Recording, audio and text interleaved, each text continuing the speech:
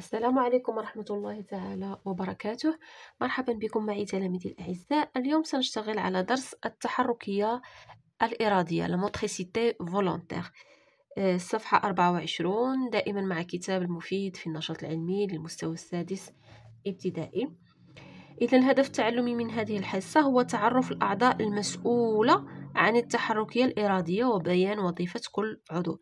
إذا اليوم سنتعرف على الأعضاء المسؤولة عن التحركية الإرادية. ما هي التحركية الإرادية؟ هي الحركات التي نقوم بها بمحض إرادتنا. إذا حنا كنفكروا في واحد الحركة كنبغيو نقوموا بواحد الحركة بغينا نتعرفوا على الأعضاء المسؤولة عن هذه الحركة. إذا وضعية الانطلاق أراد سامي قذف الكرة برجله. إذا أراد سامي قذف الكرة برجله فهذه حركة إرادية. إذا قام بها بإرادته. إذا هو الذي يريد قذف الكرة. برجله اليمنى عوض رجله اليسرى. إذا أنه قرر يضرب الكرة بالرجل ديالو اليمنى عوض اليسرى. ليسجل إصابة في المرمى كما نلاحظ في الصورة. فتساءل عن دور جهازه العصبي في تنفيذ هذه الحركة. إذا هو قرر وفكر باش يقوم بهذه الحركة الإرادية ولكن في نفس الوقت كيتساءل عن دور جهازه العصبي في تنفيذ هذه الحركة. إذا شنو هو الدور ديال الجهاز العصبي في تنفيذ أو إنجاز الحركات؟ إذا شنو هو التساؤل اللي غادي نطرحه مثلا؟ ونطرحوه حتى حنا في سؤال التقصي هو ما علاقة الجهاز العصبي شنو هو الدور ديال الجهاز العصبي في آه، يعني تنفيذ الحركات الإرادية؟ إذا أنا بغيت نقذف الكرة. شنو الدور ديال الجهاز العصبي في هذه الحركة اللي بغيت ندير أنا؟ فهمنا وكفرضيات كنقولوا ربما المخ. اذا الجهاز العصبي كيدخل فيه المخ. اذا المخ ربما هو اللي كي كيرسل لنا واحد الرسالة إلى الرجل أو إلى العضلة باش نقذفوا الكرة. ربما. مهم هذه فرضيات قبل اختبارها والتحقق منها. اذا نقول ما علاقة الجهاز العصبي بالحركة الإرادية؟ وكفرضيات ربما المخ هو المسؤول فيرسل الرسالة إلى العضلات للقيام بالحركة. بما أن الجهاز العصبي هنا يعني آه، يتدخل في هذه الحركة هذه ربما هو الذي يرسل رسالة إلى العضلات. إذا نلاحظ الوثيقة أولا ولنتعرف عن يعني الدور ديال الجهاز العصبي في هذه الحركة هذه. إذا ألاحظ الوثيقة ثم أجيب عن الأسئلة. أولا شوفوا يعني مما تتكون الوثيقة. كنلاحظوا هنا يعني آه إنسان كنشوفوا الرأس ديالو شنو فيه؟ فيه المخ. والمخ هناك مركز تحركية الإرادية. اذا هو الجزء الموجود في المخ يسمى بمركز التحركيه الإرادية هو المسؤول عن الحركات الإرادية التي نقوم بها خلال يومنا. اذا كنلاحظوا هنا السهم. يعني ينتقل من المخ إلى ماذا؟ شنو هو هذا؟ إلى النخاع الشوكي. اذا النخاع الشوكي تتم عبره ماذا؟ نقل الرسالة العصبية. إذا كتنشأ هنا واحد الرسالة عصبية في المخ على مستوى يعني مركز التحركية الإرادية أو على مستوى المخ. فتنتقل تلك الرسالة عبر النخاع الشوكي مرورا بالعصب يعني بالأعصاب وصولا إلى العضلة. إذا هذا الجزء الأحمر هو العضلة. تفهمنا؟ إذا يعني تنشأ الرسالة العصبية على مستوى المخ فتنتقل آه، يعني عبر النخاع الشوكي والأعصاب وصولا إلى العضلة اللي كتعطيها الأمر أو كتوصل لها الرسالة آه، بإنجاز أو القيام بالحركة. تفهمنا؟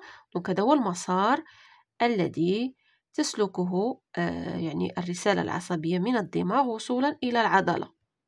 إذا هذا ما وقع مع سامي أثناء يعني تفكيره في آه، قذف الكرة برجله اليمنى إذا نشأت واحد الرسالة إذا عندما فكر في قذف الكرة برجله اليمنى نشأت واحد الرسالة هنا على مستوى المخ فانتقلت عبر النخاع الشوكي ثم الأعصاب إلى العضلة أو إلى عضلة الرجل اليمنى فقذف الكرة فهمنا؟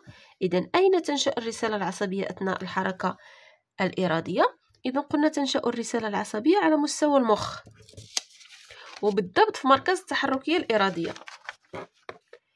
إذا نقول تنشأ الرسالة العصبية أثناء الحركة الإرادية على مستوى مركز التحركية الإرادية في المخ. إذا تنشأ الرسالة العصبية أثناء الحركة الإرادية في في المخ. ما هو مسار الرسالة العصبية؟ من الدماغ إلى عضلة الرجل. شنو هو المسار الذي تسلكه الرسالة العصبية؟ من المخ إلى العضلة. إذا باش تنتقل من المخ إلى العضلة تمر عبر الجهاز أو عبر النخاع الشوكي والأعصاب وصولا إلى العضلة. إذا هذا هو المسار. المخ النخاع الشوكي الأعصاب ثم العضلة. تنتقل الرسالة العصبية من الدماغ عبر النخاع الشوكي والأعصاب إلى عضلة الرجل إذا هذا هو المسار الذي تسلكه الرسالة العصبية ما دور العضلات في الحركة الإرادية؟ شنو هو الدور العضلات؟ العضلة هي دورها تنفيذ الحركة إذا كيجيها واحد الميساج من المخ كيقول لها بأنك خصك ديري واحد الحركة إذا الدور ديالها هو تنفيذ الحركة يعني تنفذ ما آه، يعني يرسله إليها المخ أو ما يعني يأمرها المخ بتنفيذه إذا العضلات الدور ديالها هو تنفيذ الحركة. دور العضلات في الحركة الإرادية هو إنجاز الحركة. ما الأعضاء المسؤولة عن الحركة الإرادية؟ شنو هي الأعضاء المسؤولة عن الحركة الإرادية؟ قلنا الحركة الإرادية هي الحركات التي نقوم بها يعني بإرادتنا. العضو الأول هو المخ. الذي تنشأ على مستواه الرسالة العصبية. العضو الثاني هو النخاع الشوكي الذي ينقل لنا الرسالة نقل الرسالة العصبية. يعني الدور ديال النخاع الشوكي هو نقل الرسالة أو السيالة العصبية من المخ إلى الأعصاب ثم إلى العضلة. إذا الدور العصب أيضا هو نقل السيالة. إذا النخاع الشوكي والأعصاب الدور ديالهم نقل السيالة العصبية إلى العضلة اللي قلنا العضلة عاود الدور ديالها شنو هو؟ هو إنجاز وتنفيذ الحركات. إذا هذه الأعضاء المسؤولة عن الحركة. المخ النخاع الشوكي الأعصاب والعضلة. إذا الأعضاء المسؤولة عن الحركة الإرادية المخ النخاع الشوكي الأعصاب والعضلات. نمر لأستخلص. تتم الحركة الإرادية بفضل تدخل المخ الذي يرسل رسالة عصبية تنتقل عبر النخاع الشوكي والأعصاب نحو العضلات التي تنجز الحركة. إذا الدور المخ شنو هو؟ هو إنشاء الرسالة العصبية. الدور ديال النخاع الشوكي والأعصاب شنو هو؟ هو نقل الرسالة العصبية والعضلات. شنو هو الدور ديالها؟ هو إنجاز الحركة أو تنفيذ الحركة. Donc la motricité volontaire se fait grâce au cerveau qui envoie un message nerveux aux muscles كيرسل لنا واحد الرسالة العصبية للعضلات en passant par la moelle épinière et les مرورا بالنخاع الشوكي والأعصاب نمر إلى أستثمر أين تنشأ الرسالة العصبية التي بفضلها تتم الحركة الإرادية؟ قلنا أين تنشأ الرسالة العصبية على مستوى المخ إذا تنشأ الرسالة العصبية التي بفضلها تتم التحركية الإرادية على مستوى المخ إذا المخ هو مسؤول على يعني آه، إرسال الرسائل أو السيالات العصبية. L'enfant écrit un texte. الطفل يكتب نصا. où naissent les idées du texte اذا فين كتنشأ ليه الأفكار ديال ال texte اللي باغي يكتب؟ أفكار ديال النص. أين تنشأ؟ تنشأ على مستوى المخي كما قلنا على مستوى المخ. quel organe exécute l'écriture qui des idées شنو هي الأعضاء اللي كتنفذ لينا الحركة؟ قلنا exécute هي تنفيذ أو إنجاز الحركة. donc qui exécute les les idées ou bien les يعني الحركات les mouvements شكون؟ اذا les muscles العضلات. وشكون اللي كي يعني كي ينشأ لينا فين كتنشأ لينا العضلات على مستوى المخ. والعضلات عليها يعني تنفيذ الأفكار أو تنفيذ الحركات.